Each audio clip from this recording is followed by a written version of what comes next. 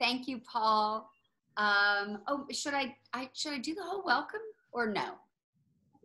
Just, I'll just do the thank you, Paul. Yeah, and- do the thank you, Paul. Okay, all right. Thank you, Paul. All right, and then we're jumping to, um, here we go. Okay. Uh, so before we close, um, Dr. Gabbay, I just want to ask you one more thing.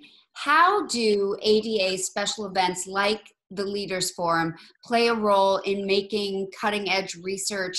po- Uh, sorry, I'm doing it again. Okay. Um, one more thing before we go. Uh, Dr. Gabbay, how do ADA special events? Uh, now I'm going to do it again. Third time's a charm. Okay. We're having fun. Ah, we're having fun now. Okay. Uh, Here we go. Okay. Before we close this discussion, Dr. Gabbay, how do ADA special events like Leaders Forum play a role in making cutting edge research programs like Dr. McLaughlin's possible?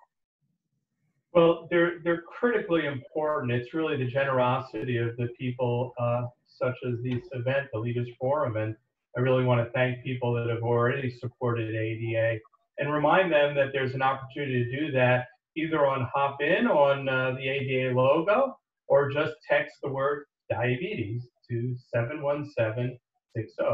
That's 71760, the word diabetes. So we really appreciate your support so we can do the kind of work that you've been hearing about. Perfect. And if you want to find out more about Dr. McLaughlin's work, you can go to the website that you see at the bottom of the page. So thank you so much for joining us and back over to you, Paul.